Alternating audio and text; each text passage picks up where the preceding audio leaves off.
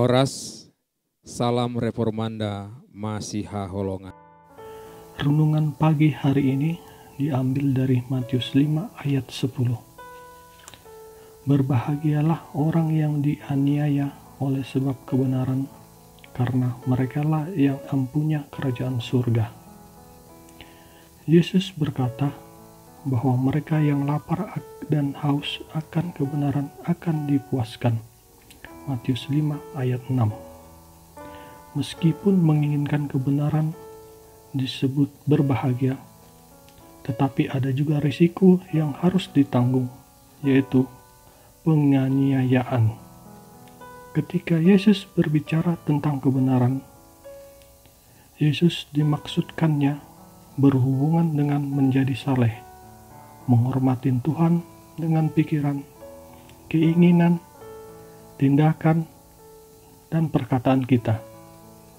Matius 5 ayat 6 ada baiknya kita lihat dalam Mazmur 42 yang berbicara tentang lapar dan haus. Di sana, pemazmur menyamakan kehausan rusa akan air dengan keinginannya akan Tuhan. Inilah kebenaran yang harus kita kejar dengan segenap hati keinginan terbesar kita seharusnya untuk Tuhan. Bukan berarti kebenaran tidak ada hubungannya dengan cara kita bertindak. Memang, jika kita lapar dan haus akan Tuhan, maka pikiran, perkataan, dan perbuatan kita akan mencerminkan hal itu. Kita akan berusaha untuk menghormati dan menyenangkan Dia dengan semua yang kita pikirkan, katakan, dan lakukan. Namun, di dunia ini kebenaran Tuhan tidak dihormati dan di nama Yesus sering diejek. Maka, mengejar kebenaran tidaklah populer. Seperti yang dialami banyak orang yang berpikir, berbicara, dan menjalani kehidupan yang berpusat pada Tuhan dan memuliakan Tuhan akan membawa mereka ke dalam pertentangan dengan dunia. Ini juga yang dialami gereja mula-mula dan menjadi pengalaman orang Kristen sepanjang zaman. Orang Kristen dan gereja mula-mula mengalami penganiayaan. Dan itu juga yang mungkin dialami banyak orang percaya di banyak negara. Kapan pun kita diejek, dilecehkan, dicelah, atau dianiaya karena iman kita, kita menanggung penganiayaan karena kebenaran. Dan Yesus ingin kita tahu bahwa ketika terjadi, kita disebut berbahagia. Kita tidak seharusnya berpikir bahwa diri kita sedang dikutuk oleh Tuhan karena penderitaan yang dialami. Sebaliknya, adalah suatu kehormatan dan hak istimewa untuk menderita aib demi Kristus. Dan Yesus berkata, mereka yang dianiaya demi kebenaran akan menerima kerjaan surga. Dalam Matius 5 ayat 3, Yesus berkata bahwa orang miskin di hadapan Allah juga menerima kerjaan surga. Maka pastilah ada hubungan keduanya. Orang miskin adalah mereka yang menyadari posisi mereka sendiri dan bergantung sepenuhnya kepada Tuhan untuk memenuhi kebutuhan rohani mereka.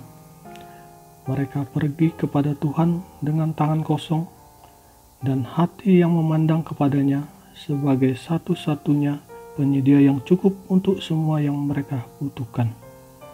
Itu jugalah yang terjadi pada orang yang mengejar kebenaran kita tidak dapat menyenangkan Tuhan dengan hati yang sombong dan berpikir kita dapat melakukannya sendiri, bahwa kita dari diri sendiri mampu menjalani kehidupan Kristen dan menghormati Tuhan.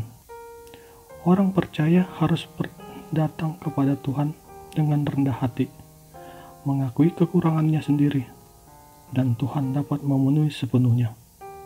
Hanya dengan begitu kita bisa menyenangkan Tuhan mengejar kebenaran yang pada gilirannya akan sampai batas tertentu mengakibatkan penganiayaan-penganiayaan yang dengan senang hati ditanggung oleh mereka yang mengasihi Tuhan.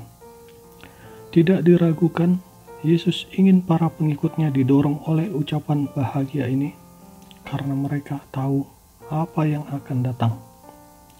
Matius mungkin ingin memasukkan perkataan Yesus ini ke dalam Injilnya karena dia dan banyak orang yang dia kenal mengalami penganiayaan seperti yang Yesus katakan. Dan hari ini ayat ini masih menyemangatin kita.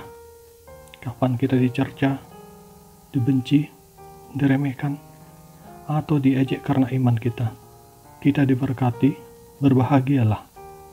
Dan lebih jauh lagi, kita termasuk orang-orang yang memiliki bagian dalam kerajaan Allah yang kekal. Pertanyaan untuk renungan pribadi.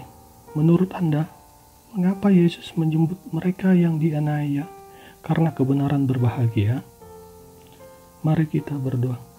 Ya Tuhan, kami bersyukur karena Engkau mengadurkan iman kepada kami.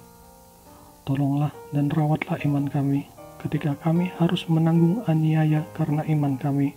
Di dalam Yesus kami berdoa. Amin.